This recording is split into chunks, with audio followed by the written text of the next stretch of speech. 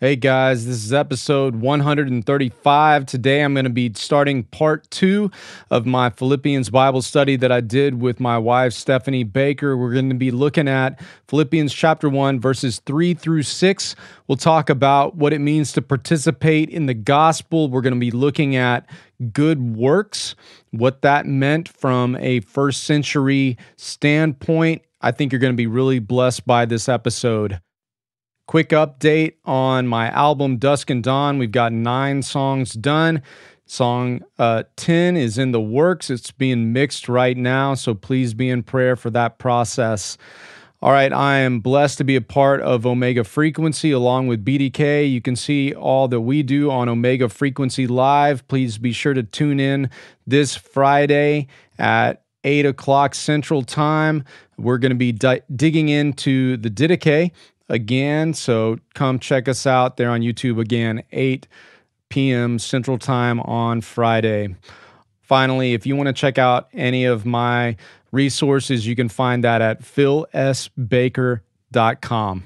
Well, without any further ado, let's get into episode 135.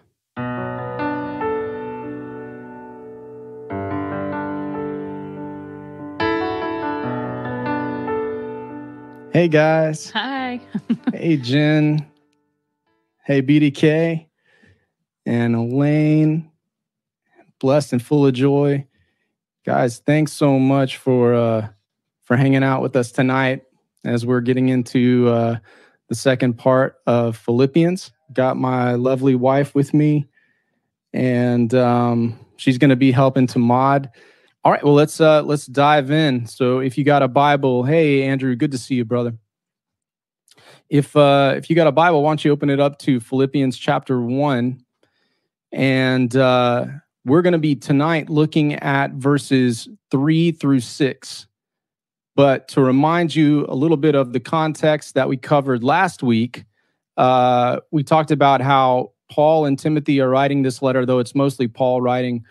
They're writing around the year 60 to 61 AD, and Paul is in prison in Rome. Uh, he and Timothy identify themselves as bond slaves or bond servants or just slaves of Christ. They're douloi. And um, you can we, we hit on how Paul is wanting to be like Christ in all things. And that is a term that Paul uses that Christ took upon himself.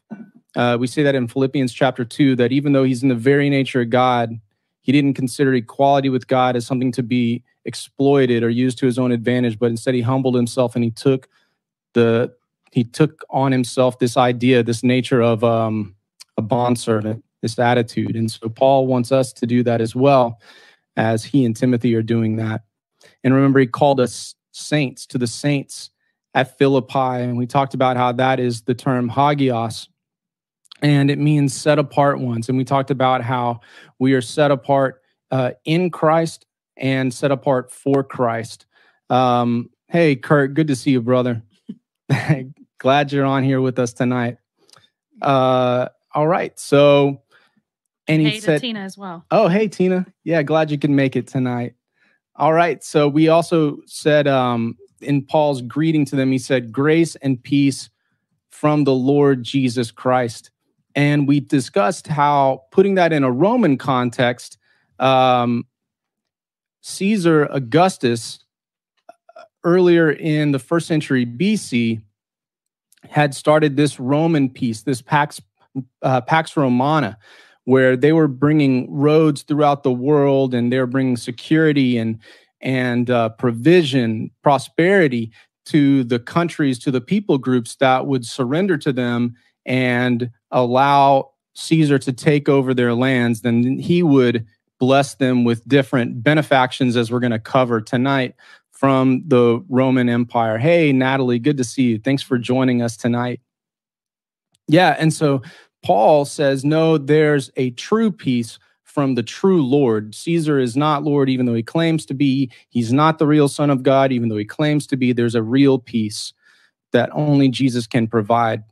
And um, yeah, so let's dive in. We're going to read those verses, verses three through six, and then we'll just kind of hit it word by word, verse by verse. All right. So here's Philippians chapter one, three through six.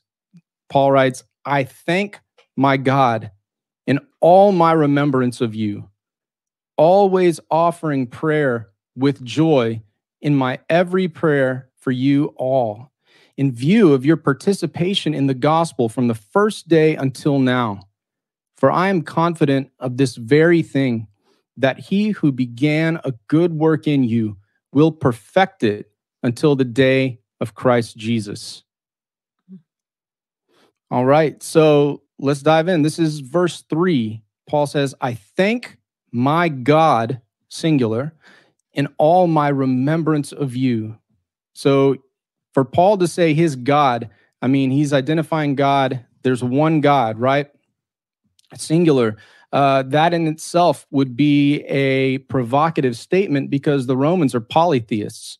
You know, they believe in many gods in one sense, and we're not talking about necessarily just the Elohim, um, the plural form of divine beings or whatever, but uh, they believe in Zeus. They believe in in um, Asclepius. They believe in all these different, and if you're going Roman uh, context, you know, Zeus would be Jupiter or whatever, but they have all these different gods, Demeter. But Paul says, no, there's there's one God, the ultimate God, and uh, He is Lord of all. For the Romans, the ultimate God for a Roman will actually be the state. That's why they have this empire cult. And um, so when Christians are promoting this monotheism, they're actually viewed as atheists. And uh, Justin Martyr gets into that in his first apology, why the Christians are called atheists. It's a pretty interesting concept, even though they're not. Uh, hey, Jewel, thanks so much for uh, for joining us tonight. That's awesome. So this word "I think" is Eucharisto. Eucharisto. Does that sound familiar? Eucharist. Yeah, yeah. We're gonna get into that uh, at the end of the Bible study tonight. But uh, so Eucharisto, it means good and grace. It's a combination, and so it's God's grace works well. Um, giving thanks, being thankful for God's good grace. And so it's pretty cool that Paul is someone, he's a leader that practices what he preaches. I don't know if you've been around leaders that say one thing but don't do the other. Of course, I've been accused of that from time to time. you know, it's kind of hard as a parent to always be consistent, but um you know, Paul is somebody that is consistent. He's a man of integrity. He is a person that practices what he preaches. If you remember uh, in the prison in Philippi in Acts chapter 16, what are he and Silas doing there uh, in chains after being beaten with rods? They are praising God. Yeah, and praying. They're lifting him up. And um, so, like when he says in First Thessalonians 5 15, See that no one repays another with evil for evil, but always seek after that which is good for one another and for all people. Rejoice always, pray without ceasing, in everything give thanks, for this is God's will for you in Christ Jesus. When he says that, he's not someone that's speaking like um, just kind of pie in the sky. I mean, he he's not saying that this is a an ideal that we should strive for, but it's not really attainable. This is someone who actually that practices that. He's seen the power of it. And um, so he says he's very thankful for to God and for God and every remembrance that he has of you. He's giving thanks for God's grace. And um, you can think about that the way we saw God's grace in uh, in his interactions in Philippi, starting with Lydia he doesn't have a place to stay necessarily. They've been in Philippi, but they don't have a permanent place. And they meet this woman who's a dealer in purple, which actually means like, even though she's a, a God fearing woman, like she's a Greek who uh, believes in the one true God and she's practicing Judaism to a, to a degree. Um, she's a dealer in purple. So she's supplying the fabric for the emperor. Mm-hmm. There are only certain people that can deal in purple. You kind of have to be licensed to do that. And it's kind of interesting that she, after coming to know Christ, begins to work for the one true God in a sense. Mm. She's dealing, um, she's using her resources to help promote Jesus's kingdom, uh, the one who truly should be wearing the purple. Okay. And uh, she opens up her house to Paul and Silas and Timothy and Luke, and they basically start having house church out of that out of that home thankful for the grace that he saw with the jailer. Um, this man repenting, getting baptized, his whole house in one night. It's pretty amazing. And then he's reminded of the gifts that the church at Philippi had been giving to him, uh, not just while he's been in prison, that Epaphroditus took to Paul from the Philippian church, but if you read in Acts, the Philippian church had continued to support Paul even in his next stop, which was Thessalonica. They were sending gifts, even though they were very poor, they were giving out of that poverty and uh, that just blessed Paul in a tremendous, tremendous way. So um, Paul says he's thankful for God and thankful for them. Um, you know, we're quick to say thanks to people, but it's sometimes a little bit more challenging to thank God, right? Or I think it's not necessarily challenging to thank God for me, but it's challenging to thank God in the difficult times. Mm. And I think he kind of puts those two together in this verse. You know, it's praying without ceasing, even when, you know, he's talking about, you know, we, we know his history with being imprisoned and being beaten and all of these things. And he's still being thankful. Like, I think that we see the blessings as the good things, good things in the eyes of the world, whether that's you know, something that makes you feel good or something that meets a physical need or whatever it might be that's, you know, very worldly, but he sees it as what is glorifying God. And those are sometimes things that do make us feel good and do meet needs, but it can also be suffering in a lot of ways because Jesus suffered. And why would we think that we're not going to suffer as well? And do we treat even suffering, especially if we're suffering for Christ, as something to be thankful for mm. and something that we can thank God for? Thank you, God, that you have counted me worthy of this suffering. Now, I say that, and I really hope I don't have to practice that very soon, but I think that that's pretty amazing on Paul's part. Yeah, and Paul actually does that. Yeah. Yeah, yeah, it's very cool. And remembering that he's in prison while he's saying, like, every time I think of you, I just thank God it's a cool thing. So something I wanted to ask, you know, you in the chat, um, you know, what are some things that you're thankful for during this time uh, where you may be kind of feeling like you're in house arrest? So, um, yeah, if y'all want to just write in some different things that y'all are thankful for, we'll bring that up. So that's kind of hitting on one aspect of prayer, which is this attitude of like giving thanks uh, to God now Paul hits on another aspect of prayer in verse 4.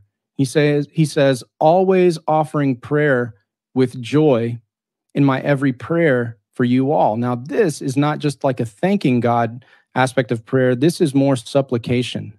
And um, so this roots back to um, Strong's concordance uh, number 1211, which is day, which means like really, really. So it's it's implying this felt need um, for someone else that's it's personal and urgent like you're really um, crying out to help uh, to help others for god to help others. Mm-hmm.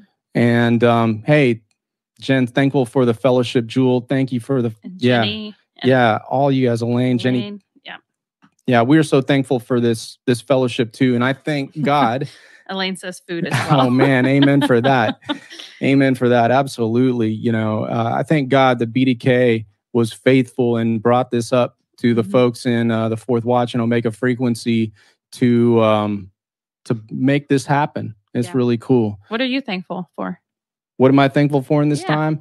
Yeah, I mean, like one thing we talked about last time, getting to spend more time with our son Daniel. That's been really that's been really cool um, getting to do this Bible study has just been great. Uh, Robert says he's thankful for what does that say? Having the time to hear, hear the podcasts, podcasts, and for the his family's health. Yeah, absolutely. And Jewel says a roof over her head as well. Oh man, praise God for that. Yeah, yeah. I remember that. Uh, it was one of those. Was it in 2009 when the the ceiling came down on New Year's Eve? I think it was a little later than that, but it was yeah, not too long after we had moved into our old house. Yeah, that was. And it was just a torrential down downpour. Yeah, in our we, bedroom. we feel this drip coming down from the fan, mm-hmm. and look up, and then whoa, yeah. his six foot portion of the ceiling. I the thought we were watching a just, movie when that happened, and we heard it in the well, other room it's happened more than once, unfortunately, in that yeah, bedroom I was trying to remember which house. time was it. We're in a Uh, better house now. Praise God. I'm thankful Yeah. for that. uh, I think something I'm thankful for is um, being kind of forced to slow down. Like Mm. I, I can, I mean, I can procrastinate things pretty well if I'm if I'm allowed to. But I think it's been really good to have fewer things on the agenda each day. Like we don't have to go pick up our kid from track practice or take um, take our kid to this or that, um, or even just running errands um, has changed a whole lot because of that. So, um, yeah, I think it's been good to slow down and to kind of have, yeah, a little bit slower pace to life. Absolutely.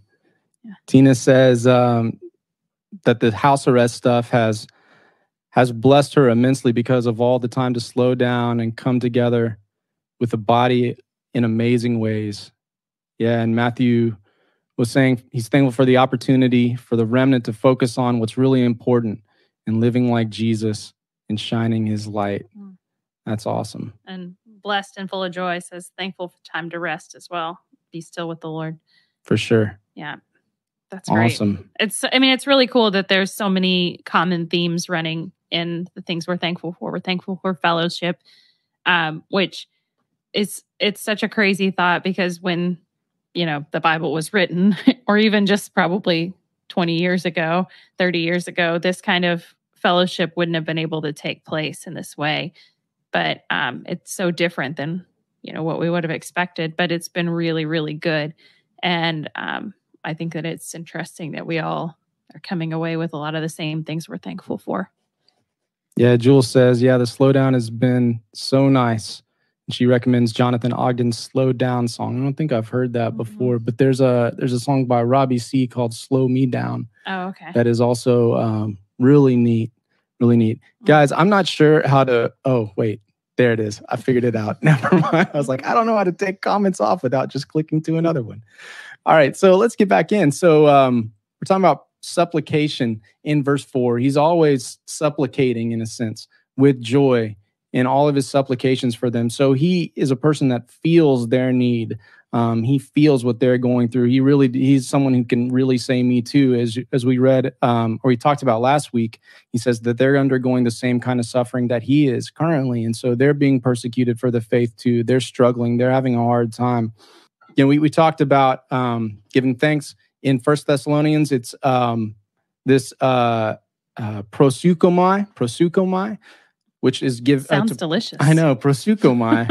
uh, it it means to pray, uh, but it's literally to interact with the Lord by switching your wishes for His wishes. And so this uh, it's like con conversing. I almost said conversating, I've heard- but yeah, I've heard that word before. yeah, yeah. Oh well, well, we give Yes. thanks, uh, supplicate, conversate. You Yeah. know, like this idea of um, God, this is what's on my heart. What's on your heart? And then thinking and listening and meditating on what He's saying, and then replying. Really believe. Paul really believes that Jesus will speak to you. The Holy Spirit will speak to you, and uh, I think that's something I can definitely learn from and do better in. Not just like throwing things at God, but really taking the time to listen and believing that He's going to talk back to us.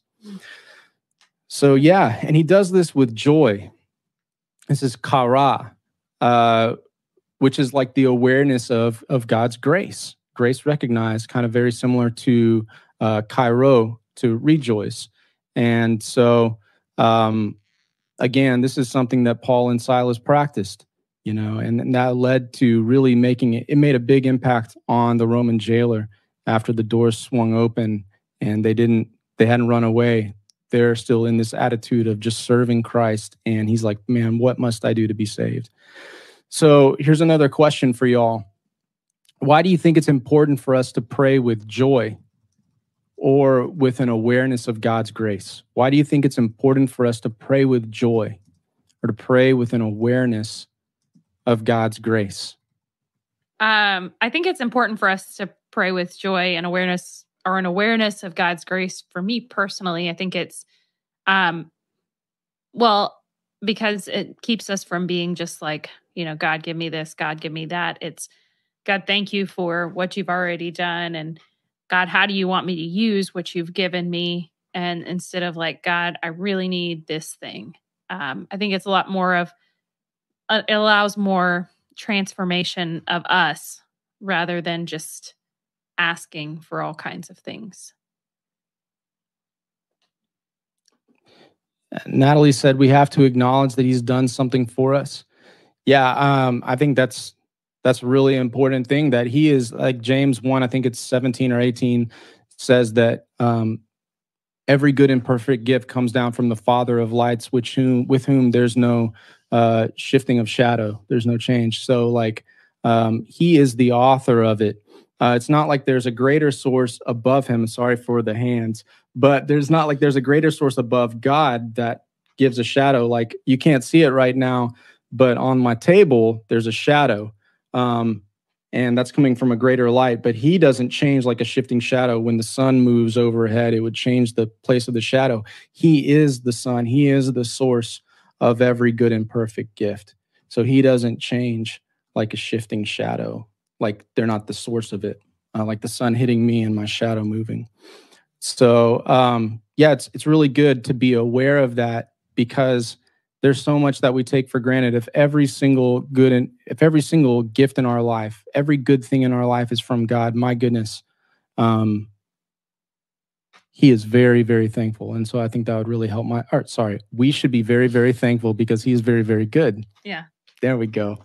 All right. yeah. He's consistent. Absolutely. Yeah. There's so many things to be thankful for. And I think that that's, we come at it with an attitude of joy. We become, um, I don't know, more aware of that. I, I think there's been like a practice before where you go through and you write everything that you're thankful for. I've seen this, you know, I've done this a couple of times and just you think that like once you get past those first few, like my family, my friends, my job, my house, whatever, once you start actually start thanking him for every single thing, mm. I think you get to this deeper awareness that beyond these temporal things, beyond even people, because people are temporary and um, they're a great blessing, but we're not promised that they'll be there tomorrow. Mm. Um, we get a lot more understanding of who God is and what He what He does for us and what He does to um, to bless us. And um, a lot of that is just our personal transformation and realizing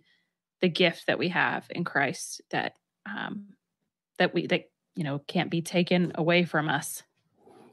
Yeah, absolutely, absolutely. Oh, I think Matthew wrote, I think praising God and praying with genuine joy in every circumstance, even in tribulation, is a really powerful spiritual weapon against our true enemy. Mm. Absolutely. It makes you like yeah. think about why Jesus spent so much time in prayer right? Really trying to see things from his father's perspective um, and who's the greatest spiritual warrior ever, you know? So I think that's something I could definitely work on.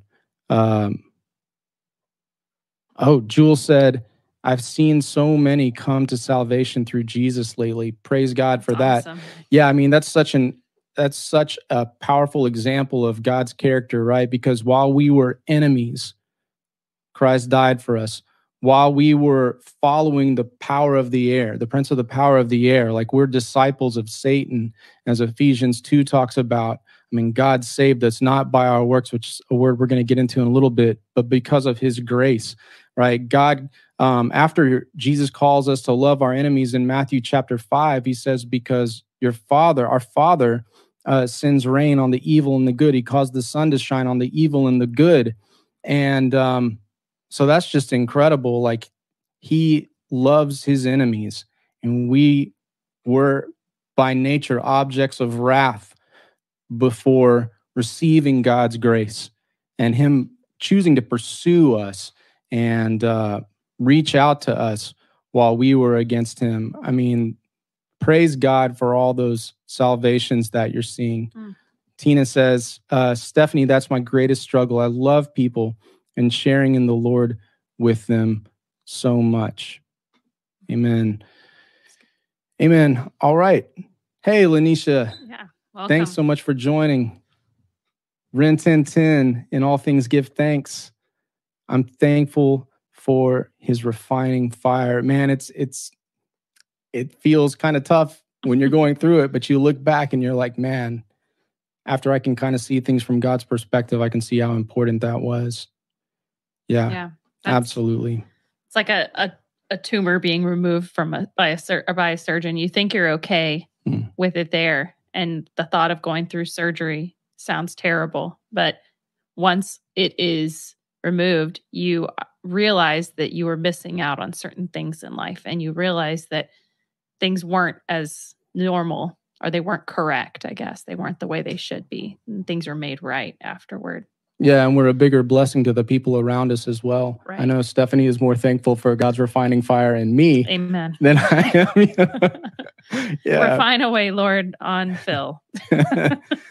hey, Audrey, thanks so much for joining us tonight. All right, so let's keep going. We're in verse five now.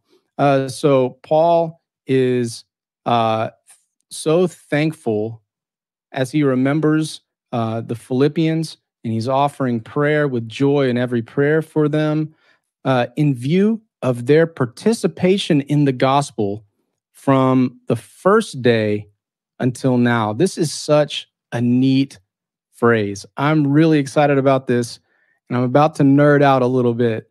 So, uh, so hang on for a second. Um, so, this participation is koinonia. If you've heard that word koinonia, you probably know it's fellowship. It's Greek word for fellowship. It means this uh, what is shared in common on the as the basis of fellowship, partnership. This partnership, participation. All right, now it's participation or partnership in the gospel. That's euangelion, uh, literally God's good news. And the gospel of the kingdom is the main theme of Jesus' preaching. He talks about it over a hundred times uh, in the gospels. It's either the gospel of the kingdom or the gospel, the kingdom of God, or the gospel of the kingdom of heaven. Either way, that is the main theme of his message. And there's a real Greek flavor to it. So I want to read you a little something out of a book that I really like. Wait. But this is a Who's that book by? oh, so this is by Shane Claiborne. Wow, I think we talked about that guy Yeah, it's earlier. called Jesus for President. It's a really, really neat uh, book. So I want to read y'all a um, a little excerpt about Caesar Augustus, and this uh, this um, it was chiseled on the ruins of a government building in Asia Minor uh, around six BC. So this is what they were saying about Caesar Augustus in six BC. Listen to this: the most divine Caesar we should consider equal to the beginning of all things. For when everything was falling into disorder and tending toward disillusion, he restored it once more and gave the whole world a new aura. Caesar, the common good fortune, capital F, fortune of all, the beginning of life and vitality. I mean, if you're not hearing how blasphemous this is, right? Mhm. For a Jew to hear this or for a Christian, you know, several decades later to hear this, but this is what they believed about Caesar. All right. I'm going to keep going. It says, Mhm. all the cities unanimously adopt the birthday of the divine Caesar as the new beginning of the year. So all of time changes Yes. with that. Okay. Yeah. Whereas the providence which has regulated our whole existence has brought our life to the climax of perfection in giving to us the emperor Augustus, Mm. who being sent to us and our descendants as savior has put an end to war and has set all things in order. And whereas having become God manifest, Caesar has fulfilled all the hope of earlier times. They And the- just have no problem claiming that title, do they? God manifest. Yeah, yeah, Yeah. it's like uh, Antiochus Epiphanes. Yeah. Same thing they're saying about Caesar Augustus now, Mhm. um, uh, 160 years later or so. The birthday of the god Augustus has been for the whole world the beginning of the good news. Mm. Let that sink in. That's the culture that Paul is writing to in Philippi. And Philippi, being a Roman colony, very much was participating in the gospel of Caesar. BDK says Caesar's making Rome great again. Oh, yeah, absolutely. but even bigger than like the most um, passionate Trump enthusiasts are. Yeah. Far more. And it wasn't so divided. I mean, it was empire wide, mm. holding him up as God. All right. So let me give a little more background into uh, Philippi and how it became a colony. I'm going to go back to Caesar Augustus's adopted dad, Julius Caesar. Okay. So after his victory in Gaul, Julius Caesar came into, into Rome declaring himself emperor in 46 BC. Rome was a republic at that time, and this greatly angered the Roman Senate. A few years later, they decided to murder him on March 15th. Uh, Brutus and Cassius murdered him and then fled to go raise an, an army. So Caesar's adopted son Octavian, who later is known as uh, Caesar Augustus, uh, and Mark Antony, one of the main generals of Rome, they also raised an army, and the two sides met at Philippi to decide the fate of Rome. Will it be a republic or will it be an empire? Well, they had two battles, and on the second battle, Octavian and Caesar Augustus, Octavian and Mark Antony won. Now, several years later, uh, I believe almost 10 years later, uh, Octavian and Antony had a battle, and Octavian, Octavian, sorry, Octavian, is that like when they're a couple? Yeah, but they're not though. So this is I just had a dyslexic moment. Wow. All right. Yeah, I mean that's, you know, yeah. That's one of the ways that God causes all things to work together for good. Yeah, I've seen so many times when I'm teaching or giving a message or something and I'm being really serious and I haven't like added humor into it at all somehow dyslexia comes in to create a uh, scarjo or something like that. Just like this blend. That's not even a blend. That's that's her name right? Scarlett johansson. Phil give me a blend. just move on. Like brangelina. Brangelina classic. Okay thanks. Good job. Thanks for saving me. You're welcome. All right i'm gonna move back on. to the text. Back to the well back, back, to, to the commentary yeah. all right so uh caesar augustus uh, was crowned Lord and God after his uh, victory with Octavian. And coins around the empire start calling him the savior of the world, helping bring in the Pax Romana. His gospel says that peace and security has come, and the empire cult really begins to take off. The gospel has come through the dominator, Caesar.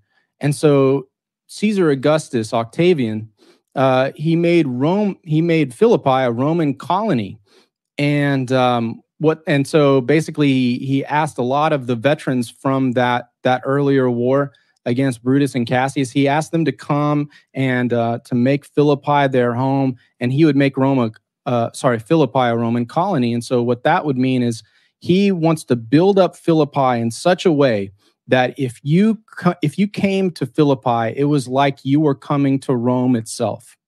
Okay he wanted Philippi to be a reflection of Rome. And so think about as patriotic and nationalistic as things would be in Rome mm-hmm. under Caesar Augustus. That's how he wanted it to be in Philippi. And like the city is populated by war veterans. All right. So that's the kind of climate that you have in Philippi. Okay. Very, very uh, tough place to live as someone who's saying, um, yeah, Caesar Augustus, he's not, he's not Lord. Right. Caesar Augustus, he's not the savior. Caesar Augustus um, has promoted fake news. His gospel is fake gospel. Yeah. Um, he does not bring us peace. Pax Romana is a fraud. Think about saying any of those things in a place like Philippi.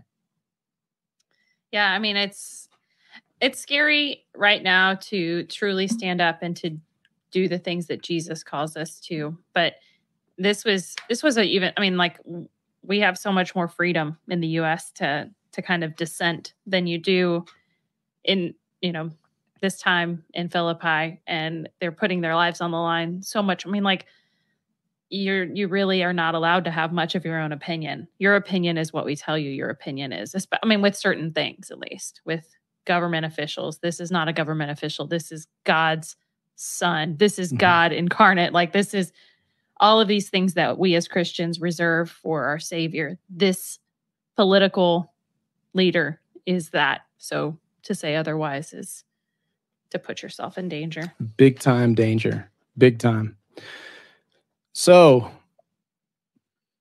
remember that Paul said that the Philippians were participating in the gospel. And he said that they were undergoing the same things as him. But let's come back to this participation, this fellowshipping uh, in the gospel. You remember we talked about Lydia, how she is helping to advance the real gospel by opening up her home and using her resources to promote the kingdom of Jesus, the kingdom of God, the kingdom of heaven. Uh, using, um, and it, it's really cool. Uh, by the way, in verse 14, I'm sorry, I get sidetracked sometimes. No, I like this comment from Lanisha. Caesar, Caesar, I can't even say it. Caesar, Caesar, he's not the man. He can't do it. Jesus can. Amen to that. That's cute. Like Amen that. to that. Um, in verse 14 in Acts 16, Acts 16, verse 14, it talks about God opening our heart. We're going to come back to that uh, in just a little bit. But remember, the Roman jailer also participated in the gospel, uh, declaring Jesus as Savior. He says, Sirs, after um, after the doors open, he's going to kill himself. Paul says, No, don't do it. He says, Sirs, what must I do to be saved? Remember, uh, as a Roman, he would already he would believe that he already was saved that caesar is the savior of the world Mhm. like you're living in heaven on earth basically you remember all that stuff that we read uh, carved onto the altar in 6 bc in asia minor you know? So for him to say no i need to be saved it's like saying i was born no i need to be born again right? It's it's that kind of a what? What are you talking about? Kind of like Yeah. nicodemus is like what are you talking about? How can i enter my mother's womb a second time? Mhm. for him to say i need to be saved and remember what paul says he says believe in the lord jesus and you will be saved this is not easy believism what paul is saying and i know that passage is used a lot in a modern context to say just believe in jesus Yeah. It's like a mental decision. That's, I mean, it's just, it's all it is, is like believe, like you're going to believe in Santa Claus or whatever. It's just this. yeah but for the jailer for him to say jesus is my lord now Right. he's just signed his death warrant i mean he is a he's going to be a marked man hmm And what's really cool is that immediately he goes and he gets baptized that night. He goes and gets baptized. And for an early Christian, baptism was like the main way that you profess with your mouth, confess with your mouth that Jesus is Lord, believe that God in your heart that God raised him on the third day. Mm-hmm. The main way that you profess with your mouth that Jesus was Lord was baptism. It's a transfer of allegiance. You're coming out of the kingdom of Caesar into the kingdom of Jesus it's again if you go to places like iran or saudi arabia or india any place where it's like illegal to be a christian if you get baptized you just you're a marked person a marked man or a marked woman or a marked child. Um, i know of a missionary in india when he baptizes people they say um, they have people recite uh, by li- in life and in death to my very last breath after con- confessing jesus as their lord right? Those like main uh, tenets uh, of doctrine. In life and in death, will you follow him in life and in death to your very last breath? Yeah. Were you gonna Yeah. No, I just, I mean, it's, it's such a public thing. Like, like Joel just said, public profession. Like it was something, especially then. I mean, there was, there were, word travels quickly. And in these communities where everybody is connected, um, this event happening, I mean, I don't know how much they'd advertise it ahead of time if it was just like, hey, I just saw this going down. I saw Phil down by this, you know, by the river. Looks like he's going to get baptized. I mean, it was a very obvious thing. It wasn't like it could be mistaken for something else. It's not like they could step back and be like, whoa, whoa, whoa, it wasn't what it looked like. We just went for a swim. Like this was a very obvious, like you said, change of allegiance. Mm-hmm. Yeah. So um, that's how one way that he was participating in the gospel, uh, furthering it. But then, you know, um, they continued to support Paul as a missionary. This is something we're going to cover a little bit later in uh, Philippians, but in Philippians 4 uh, 15, chapter 4, verse 15, he says, You yourselves know, Philippians, that at the first preaching of the gospel after I left Macedonia, no church shared with me in the matter of giving and receiving, but you alone. For even in Thessalonica, you sent me a gift more than once to meet my needs, not my greeds. but yeah, so in Acts 16, they go to Philippi. The very next place they go is Thessalonica. And so this very poor church sends money to help support Paul, who's not trying to get rich off the gospel at all. You know, you will see him like when he gets to Corinth, he will work. Um, he begins to uh, build tents with Aquila and Priscilla, right? So he is not afraid of having a real job um, but they want to support him so they can really focus on um, on preaching the gospel. Yeah, Matthew Marcel said uh, moving from a, a, change of allegiance uh, from government and nation to a change of allegiance to the uh, the King Jesus and His kingdom. Sorry, I butchered what you wrote, Matthew, but that's right on the money. Dyslexia stings again. All right. Um, yeah. So let me ask y'all some stuff. What what are some things that we can do to participate in the gospel? What are some things that we can do to participate in the gospel?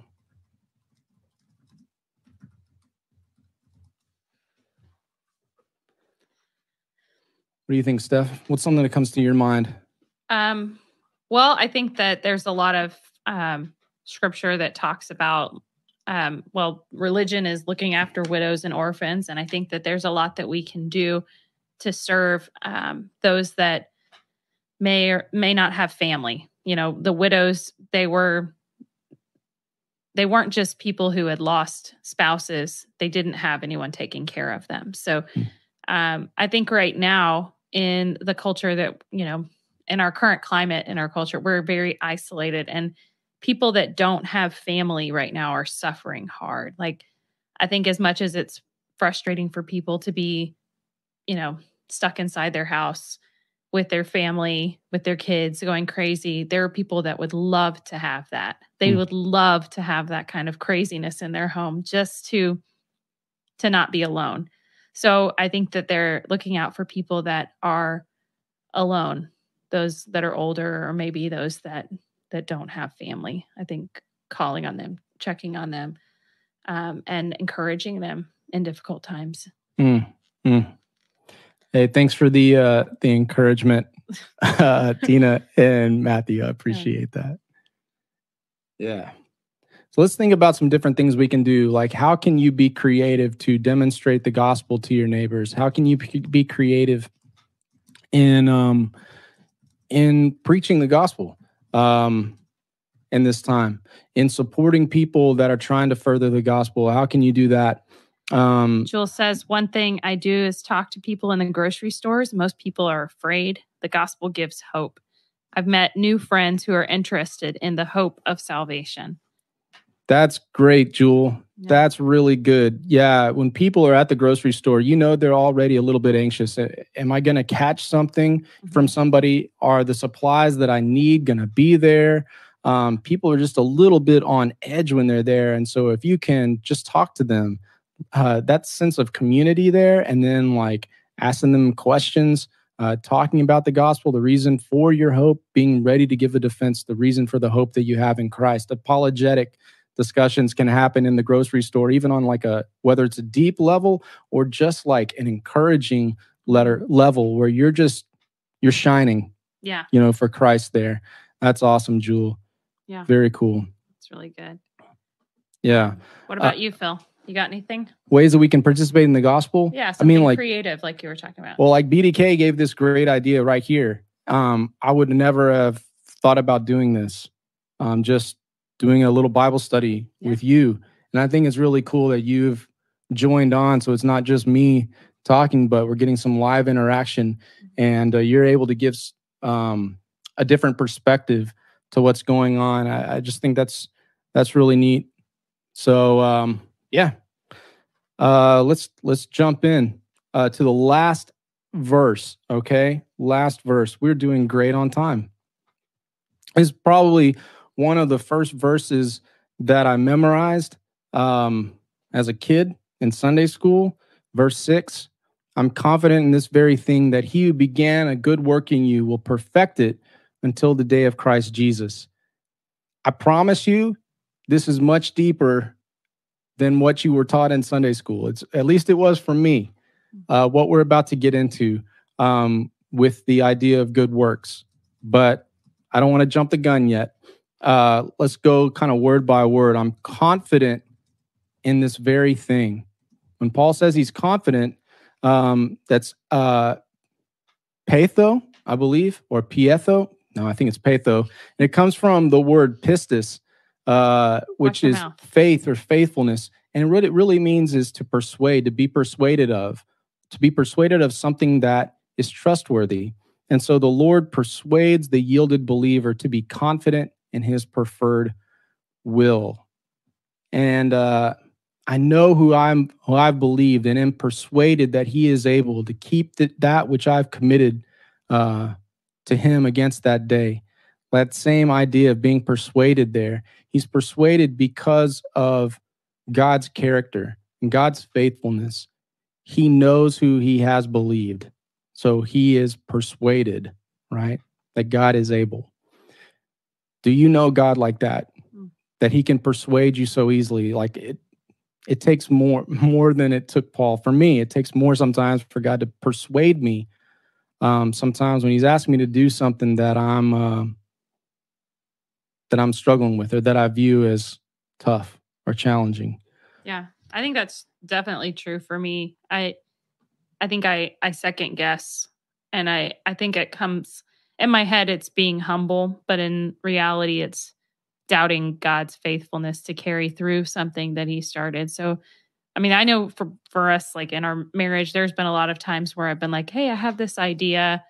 And then been like, "Ah, never mind." And like, you know, God's used you in a lot of ways to encourage me to know like that's there for a reason. Like you should you could do that. You you know, you're you're more than capable of doing that and if God is calling you to do that, he's going to bless it. And so I think that's an important thing. Community.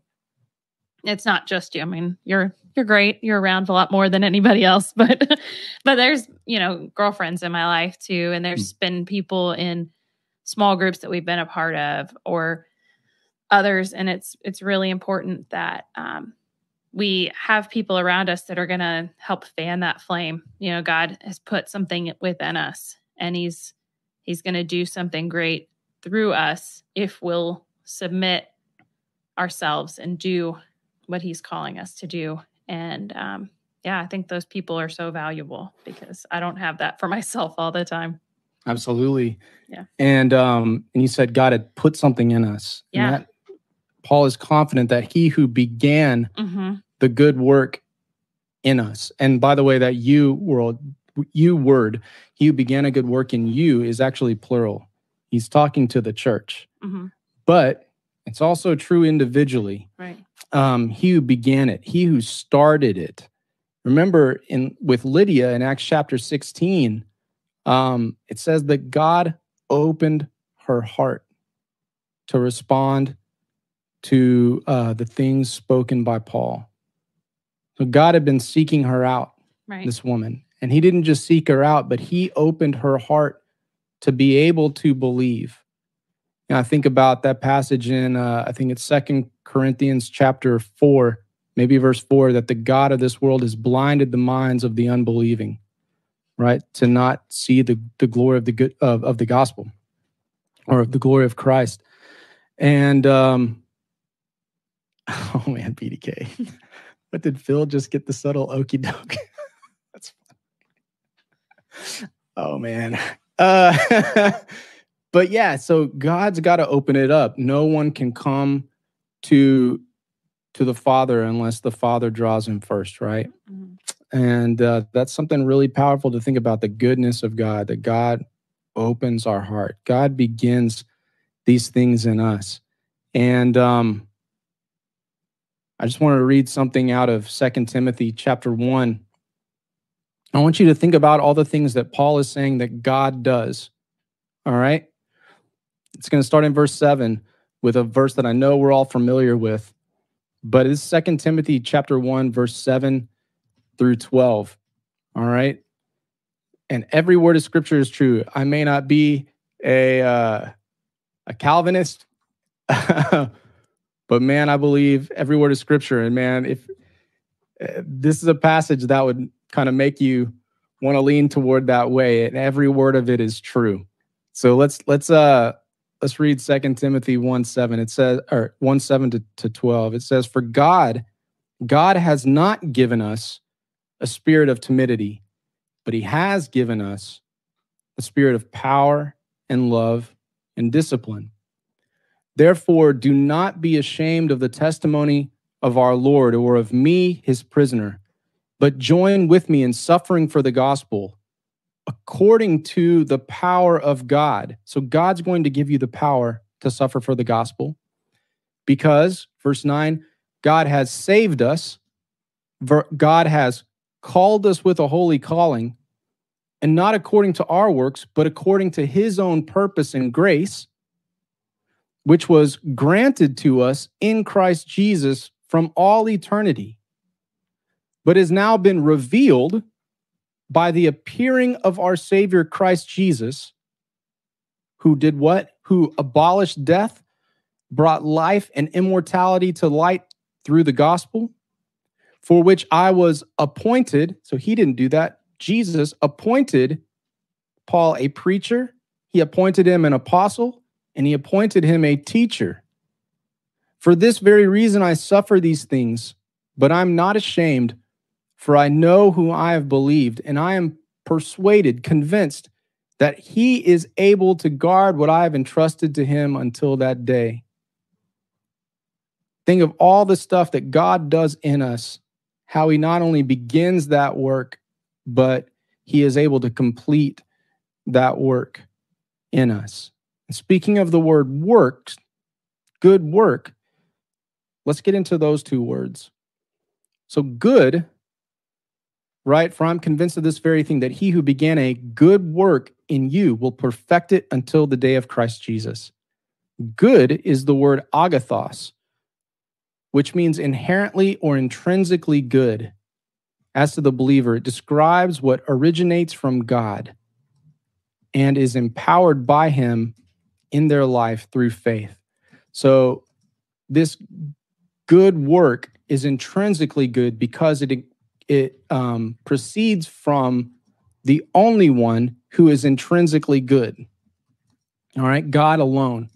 As Jesus would say in Matthew 19 uh, to the rich young ruler, said, Good teacher. And Jesus says, Why do you call me good? No one is good except God alone. And of course, he's saying, uh, I am God. I'm not just a good teacher, I'm God. But anyway, so it's a good, intrinsically good work. And this word work means ergon, or is ergo or ergon, to work or accomplish, a work or worker who accomplishes something. It's a deed that carries out an inner desire or purpose. So it's a work that has a purpose. It has a desire to accomplish something. Now, we're going to break that down a little bit more in a Christian sense in, in, a, in a second. But first, this term, good work, is a Roman term. All right, we talked about when uh, someone would come to a city like like Philippi, and Caesar says, "I'm going to make y'all a Roman colony." The reason he would do that um, would be to have it reflect the nature of Rome, and in order to do that, he's going to give Philippi certain benefactions. These are called good works. These benefactions are good works. Well, what would that be? Well, Caesar would give them aqueducts. Like you got aqueducts in Rome. Well, he's going to give them paved streets because you got paved streets in, in Rome. He's going to give you magnificent temples like they have in Rome. He's going to give you statues of Caesar. He's going to give you theaters. He's going to give you uh, the imperial games right? He's going to give all the things to this colony to make it look like Rome had come to Philippi. So these good works are given to reflect the nature of and character of Rome. Now, if you're not getting that connection yet, you will soon. It's given by Rome to represent him. Well, why does God begin this good work in us? Why is God doing these benefactions in us? Well, Ephesians 2, verse 8 For by grace you have been saved through faith, and that not of yourselves, it's the gift of God, not as a result of works, so that no one may boast, not your works. For we are God's workmanship, created in Christ Jesus for good works, which God has prepared beforehand that we might walk in them. So he's speaking to the whole church and he's saying, I'm giving you my spirit and I'm putting a work in you because I called you to be an ambassador of heaven, right? As Paul says in Philippians chapter 3, you're a citizen of heaven. Why? Because he's trying to show the world what the kingdom of heaven is like. And he does that by working in us the seed of heaven, in a sense. Mm-hmm. Like the mustard seed that's supposed to grow and grow and grow until it totally takes over us.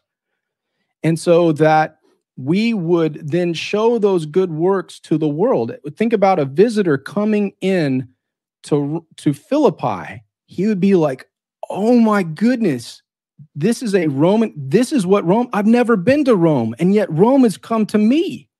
Mm. I've never been to heaven. How can heaven come to us?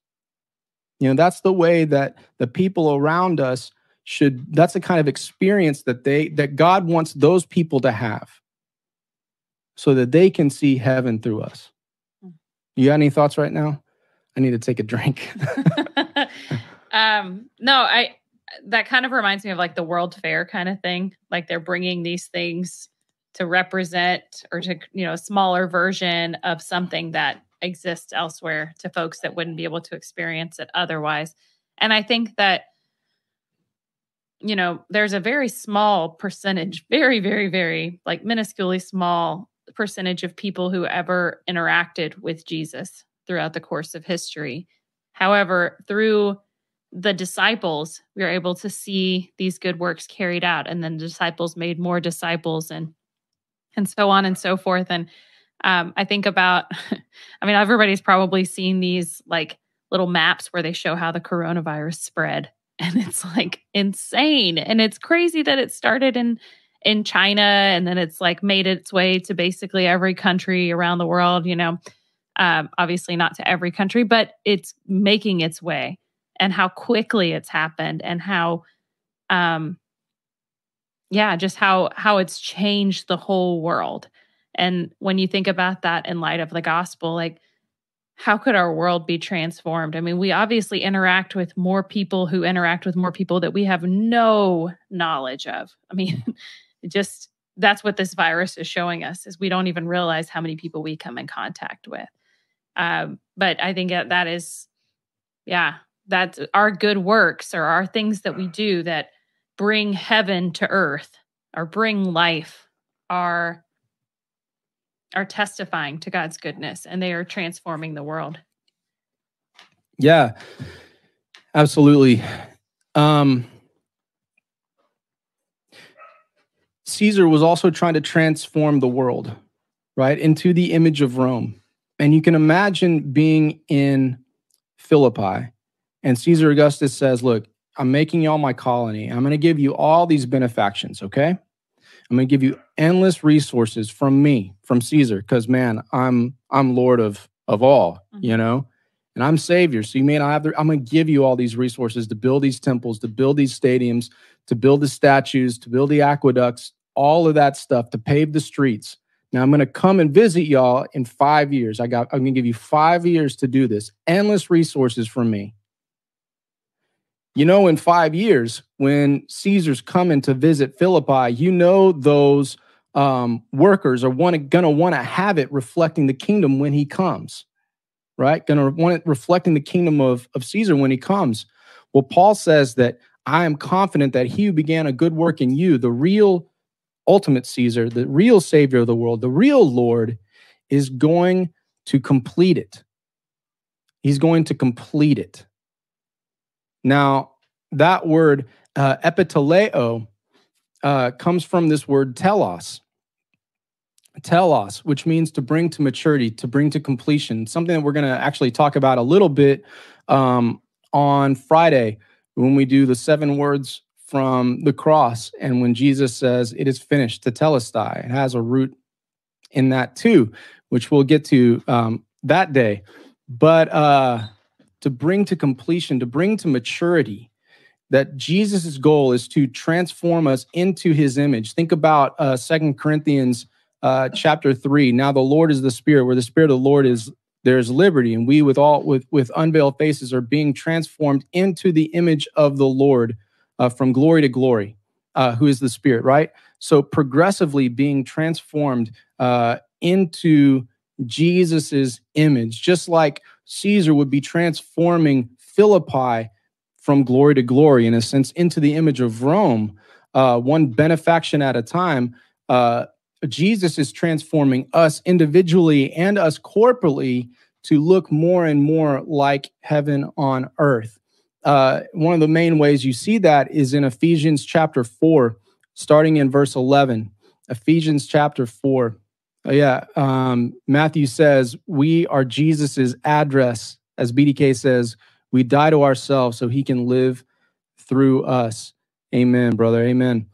So, Ephesians chapter 4, starting in verse 11, uh, Paul writes, And he gave some as apostles, some as prophets, some as evangelists, and some as pastors and teachers for the equipping of the saints for the work of service to the building up of the body of Christ until we all attain to the unity of the faith and of the full knowledge of the Son of God, to a mature man. Same word there, same word uh, as um, you see in Philippians chapter 1, verse 6, that um, uh, epiteleo, yeah, same, same word. All right. Uh, I just lost my place. I'm sorry. To the mature man, to the mature, uh, to the measure of the stature which belongs to the fullness of Christ. And once we're there, what what would be the result? Well, as a result, we would no longer be uh, children tossed here and there by waves and carried out by every evil wind of doctrine, by the trickery of men, by craftiness and deceit and scheming. But speaking the truth in love, we are to grow up in all aspects into Him who is the head, even Christ from whom the whole body being fitted and held together by what every joint supplies according to the proper working of each individual part causes the growth of the body for the building up of itself in love. So um let me ask a question real quick. How well do we look like citizens of heaven does this American church look like citizens of heaven? Looks like does it look like a colony of heaven? And what can we do as American Christians to look more like a colony of heaven? Can you say that again? Yeah, so how well do we as the American church look like a colony of heaven? And what can we do to look more like a colony of heaven? Um, I think that if we look like just a gathering of American folks, then we don't look like the church. We don't look like a colony of heaven. I think it's um, we're going to look strange. That's what we're told we should look. We should be weird. We should be aliens, you know, is the word that's used.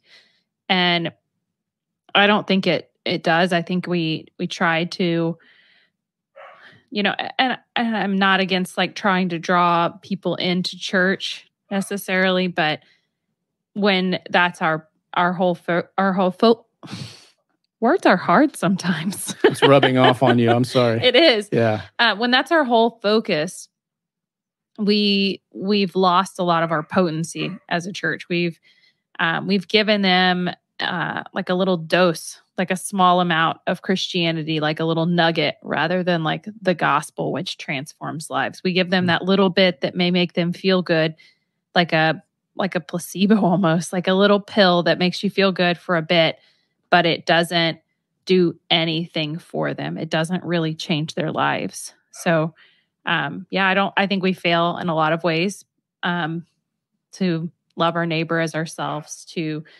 um, to care about a lot of, yeah, I mean, there's a lot of ways, but there are some, there's some good things that the American church does too. But yeah, we have a lot of ways that we've, we've watered things down so much that it loses its potency. Mm, amen. I like that song. I want to be different. Yeah, absolutely. Mm. If y'all are hearing our little dog Amos, I'm sorry about that. he uh he's lonely downstairs and he's upset that I got I got Zeke up here. Which you can hear him snoring. Yeah, sometimes. you might hear him snoring. He's like right behind me, but he's pretty quiet when I come up here. Do almost all of my podcasts ready with an answers all up here with Zeke. Um, I don't know, he just really likes it. If if he's by me, he won't say a word. Yeah. Not that he would talk normally in English but I, I, think it's he's also there for your support. Maybe so. I need that. yeah, absolutely. All right. Um, now remember, I was talking about how if if like Caesar Augustus said to Philippi, look, I'm going to give you all these resources. I'm going to give you everything you need, but in five years, I'm going to come see it. Well, there's a day that Jesus is returning to see what's up. Hmm. How do we do? You know? Uh Blessed and Full of Joy says, uh, no, the American church doesn't look like it should. The church has conformed so much to the world to bring them in, but forgot to realize that we should be different. Amen. And, you know, Paul really hits on that in uh, Ephesians 4 when he talks about how he gave the gifts to the church for the, to the, to the church for the building up of the church. So, like the church service, the gathering of believers really is for the equipping of the saints, not for the attraction of the unsaved. Mm-hmm. Our gatherings are not supposed to be for the unsaved. We're supposed to be what attracts the unsaved in our regular lives. If, if you're reading Paul in Ephesians 4, it's supposed to be us out there in the world that are looking like citizens of the colony of, of a colony of heaven, right? um, attracting them, but our gatherings are supposed to be equipping the believers. And maybe that's one of the main reasons why the church is so watered down and weak and not fulfilling its purpose around the world or, or in a, some places in America. I don't want to overgeneralize, and I. There are some really, really great churches here in America. Yeah. And there are lots of places where, I mean, any one of us would be really challenged by how they're truly living out the gospel. Um, I think what you're referring to is more of the the corporate mentality toward churches and um, the the the churches that many people are familiar with. Mm. Um, they don't have to be a mega church to be watering down the gospel, mm. but um, any church that is doing that is is missing the point of the church. Mm. Yeah. So Paul says that um, Jesus is going to bring us to completion. He's confident that the good work that Jesus began in us, the benefaction that Jesus began in us, he's going to complete it, to perfect it, to mature it until the day of Christ Jesus. So I just want to highlight a couple of passages of scripture as we're kind of bringing this to a close. I want to highlight a couple of passages of scripture about the return of Jesus and uh, what's going to go down uh, the first one, and then we'll just ask a few a few questions, and then I'll give a final challenge. So the first passage is Second Thessalonians chapter 1, starting in verse 6. And it's Paul says, For after all, it's only just for God to repay with affliction those who afflict you, and to give relief to you who are afflicted and to us as well when the Lord Jesus will be revealed from heaven with his mighty angels in flaming fire, dealing out retribution to those who do not know God and to those who do not obey the gospel of our Lord Jesus. These will pay the penalty of eternal destruction away from the presence of the Lord and from the glory of his power when he comes to be glorified in his saints on that day and to be marveled at among all who have believed. For our testimony to you was believed. Gosh, that dog. Yeah, he's really wanting some attention. yeah, I'm sorry for that. Um, but yeah, he is coming to be glorified in his saints. Are we glorifying him as his saints now? Because when that day comes, there's no second chances. Second passage is Philippians chapter 3, uh, kind of hitting at what it looks like to be glorified in his saints. All right. So, Philippians chapter 3, verse 17. Brethren, join in following my example and observe those who walk according to the pattern you have in us. For many walk, of whom I often told you, and now tell you, even weeping, that they are enemies of the cross of Christ, whose end is destruction, whose God is their appetite, and whose glory is in their shame, who set their minds on earthly things. And I don't think Paul is talking to about people who don't profess to be Christians, but rather people who do profess to be Christians. For our citizenship is in heaven, not our other citizenship is in heaven. Our citizenship is in heaven, from whom also we eagerly wait for a Savior, the Lord Jesus Christ who will transform the body of our humble state into conformity with the body of his glory by the exertion of the power that he has given, even to subject all things to himself.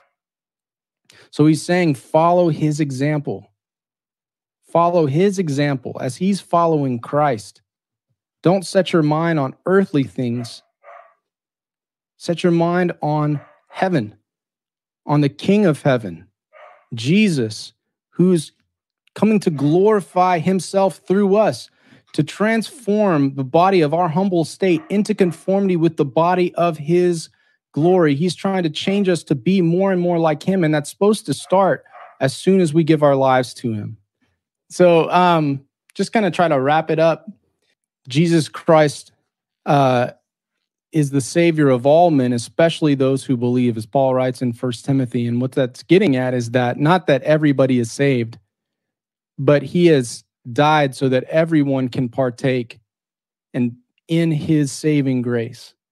Um, because all people are valuable to Jesus. Mm-hmm. And he died for our sins, but not just for our sins only, but for the sins of the whole world. As uh, John writes in uh, First John chapter 2, and so, uh, as Paul has been growing more and more into the likeness of Christ, it's almost like he kind of starts talking like Jesus. He starts using similar words that Jesus would use, doing similar things that Jesus would do. And there's a connection, there's a distinct connection between um, what Paul is saying in these verses in Philippians 1 and in what Paul says in 1 Corinthians 11 when he's talking about the Lord's Supper, when he's talking about communion. Remember in Philippians 1 3, he said, I, Eucharisto, I thank my God. And this Eucharist idea, this communion, giving, giving thanks for God, excuse me, in all my remembrance of you all. Always offering with prayer and joy my every prayer for you all in view of your participation in the gospel because he's confident that he who begins a good work in us will perfect it until the day of Christ Jesus. So he's got this Eucharisto, this thankfulness, this calling us to remember participating in the gospel until Jesus' return. Think about what he says in 1 Corinthians 11 23. For I received from the Lord that which I also delivered to you that the Lord Jesus, in the night in which he was betrayed, took bread, and when he had Eucharisto, when he had given thanks, he broke it and said, This is my body, which is for you.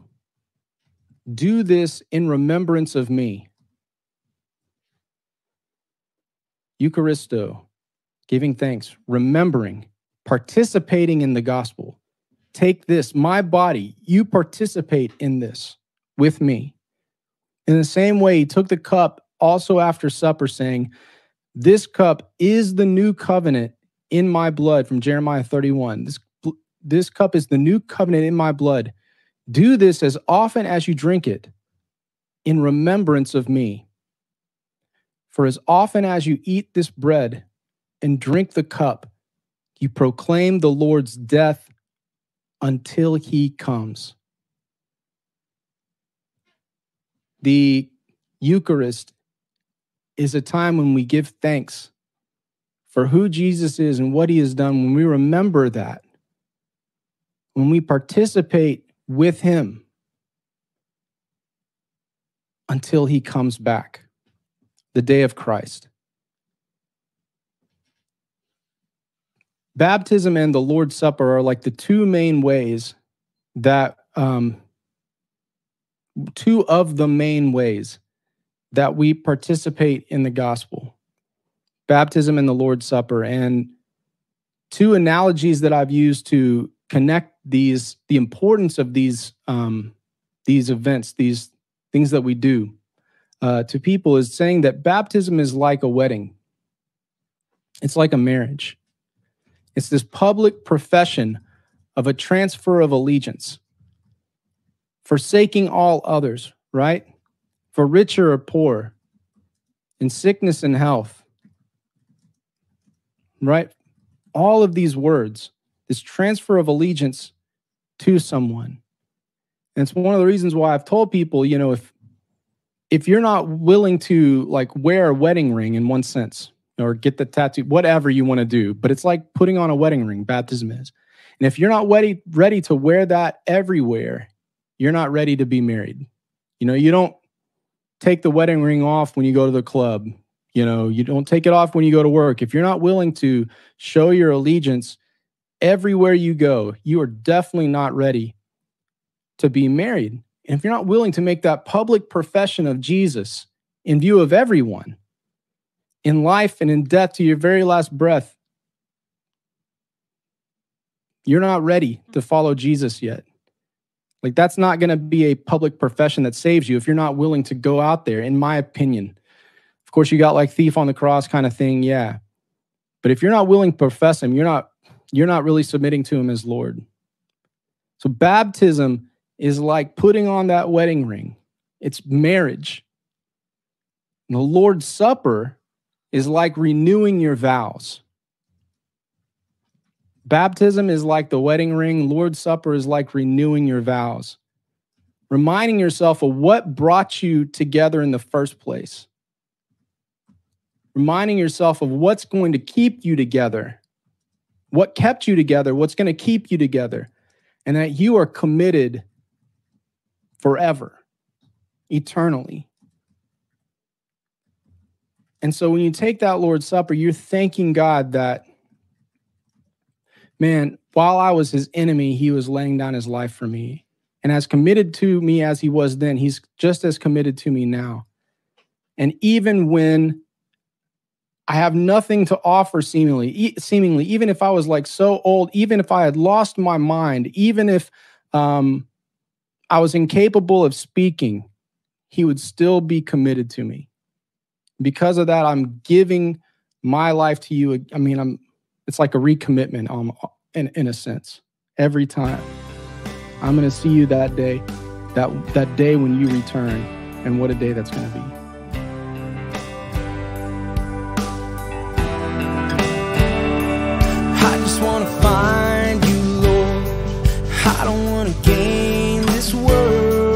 I just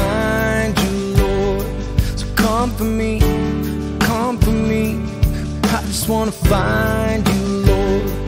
I don't want this broken world. I just wanna find you, Lord. So come for me, come for me, my Redeemer, my Defender, my Creator. He knows my name, my provider from my childhood. When I find you, Lord, I'll never be, I'll never be the same.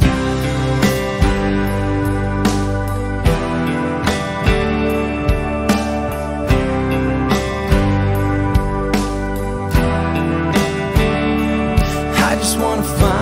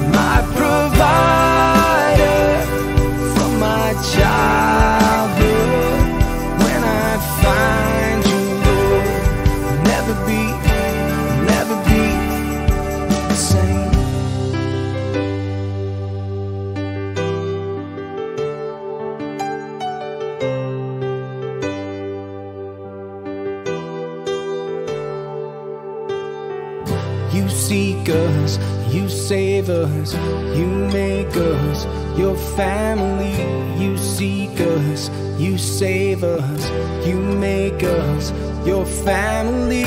You seek us, you save us,